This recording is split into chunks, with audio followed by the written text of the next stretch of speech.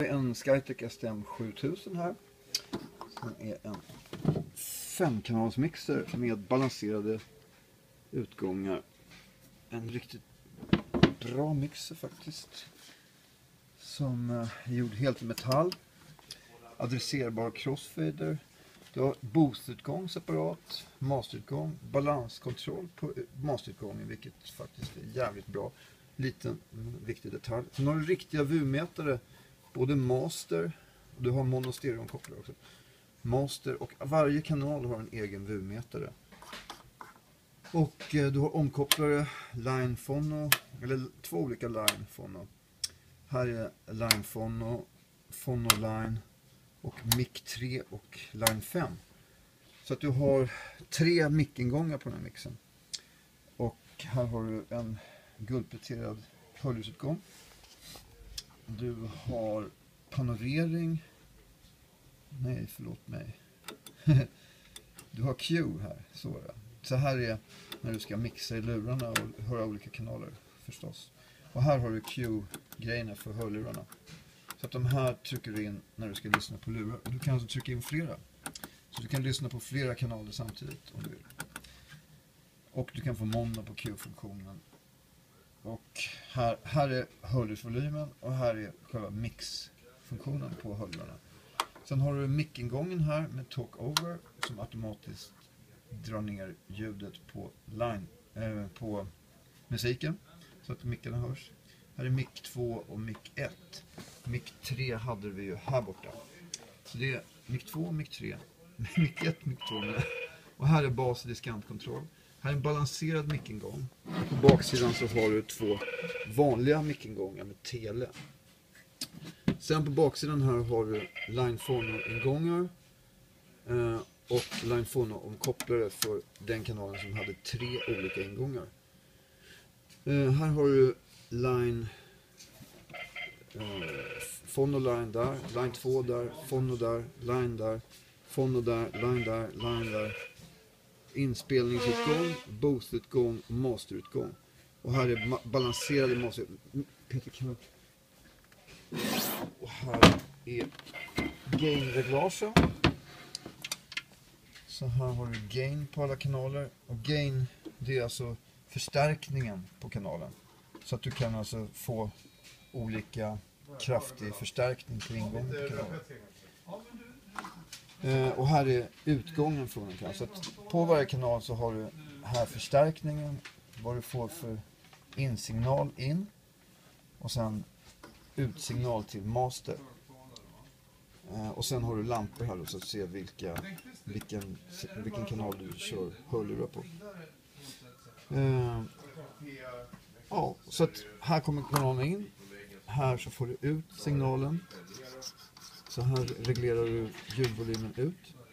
Och här har du då den här balanskontrollen som jag sa. Här har du mono, mono Och på booth så har du då på booth så, så kan man som diskjockey då ha en monitor i, där man står i, i båset så att säga. Det är därför det kallas booth-bås. Så att den reglerar Booth reglerar signalen som kommer ut här på Booth. Så där i mitten så har du Booth-utgången och volymen för den är här. Masterutgången du har dubbla masterutgångar så du kan köra masterutgången både ut på de här balanserade till exempel till PA eller aktiva högtalare.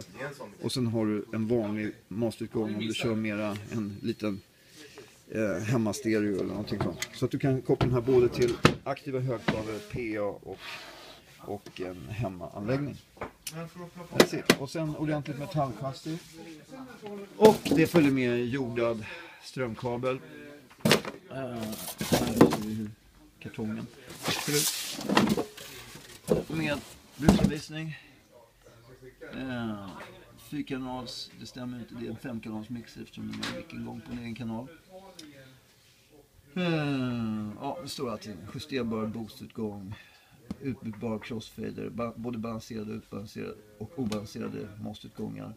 Separat utgång för inspelning som har som inte regleras av mastervolymen. DJ-mic med talkover som drar ner musiken 16 decibel. Fem stereo line-ingångar, tre phono line-ingångar, tre mic-ingångar. Den väger 4,6 kilo. Den är 33 x 28 x 13 cm. Och du kör in 230 volt rätt in i den så du slipper ha någon jäkla adapter som man ändå tappar eller har bort. Och THD 0,02%, signal noise 80 decibel. Helt okej okay för en DJ-mixer. Eh, så det är Skytech STM 7000 172.879 och vi har bara några få, några få exemplar kvar. Vi har tre, fyra stycken kvar. Så det är en jävligt bra mixer för inga pengar. Uh, så, ja. Vad mer ska man säga? Helt okej okay mixer. Alltså det som är en av de största fördelarna är att det är en enkel mixer med många kanaler som har ordentliga VU-mätare. Om man ska sammanfatta det hela. En enkel mixer som man kan använda länge, en hållbar, det är inget skräp. Eh, och du har riktiga nivåmätare. Så att den är enkel att använda, man har riktiga nivåmätare. Och den har allting som en riktig mixer ska ha. Gain-reglage, trebands-EQ. Det är minus 26 decibel på EQ. Så man kan säga att det är som en rotary filter. Annars brukar det vara plus 12, minus 12. Men minus 26, då är det som ett kill. Så att om du vill ta bort basen till exempel, eller mellanregistret eller diskanten. Så kan du göra det genom att du har minus 26 decibel. Eh, och balanskontrollen som jag sa, det är en liten detalj men jävligt rolig när man är DJ. Att man kan styra master, masterutgångarna med en balanskontroll. Och monoreglaget är bra ibland om man vill testa utgångarna. Det är en sån grej som man uppskattar som ljudtekniker. Boostutgången är fruktansvärt värdefull och finns bara på dyra mixers. Adresserbar crossfader så att man snabbt kan ställa om och att man också kan ta, att det finns off på den. Också bra. Och naturligtvis att den är utbytbar, själva crossfaden. Uh, eh, ja, det är jävligt mycket schysst mixer för pengar och, och för pengarna och 4,75 kilo. Det är riktig metall, det är ingen liten skitgrej. Den är stor, man ser storleken här. Så den, det är ingen liten skitmixer. Eh, och på Q kan du också köra mono. Du har ordentlig reglage för Q-funktionen och du kan också välja och köra flera Q samtidigt. Det är också förbaskat bra att du kan Qa flera kanaler samtidigt eller en kanal samtidigt. Yes.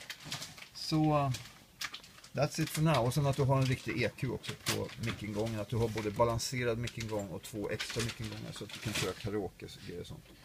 Och mickingång med EQ. Yes.